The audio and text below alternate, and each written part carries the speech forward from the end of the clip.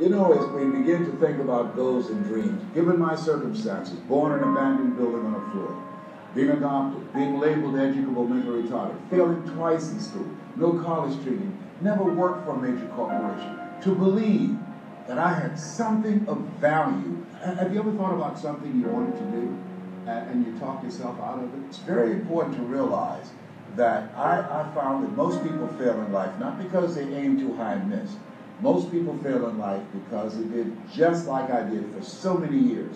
They aimed too low and hit. They didn't believe in themselves. So I want you right now to revisit and look at your goals and dreams and let's raise the bar. And I want you to say with me, it's possible. It's possible. It's possible.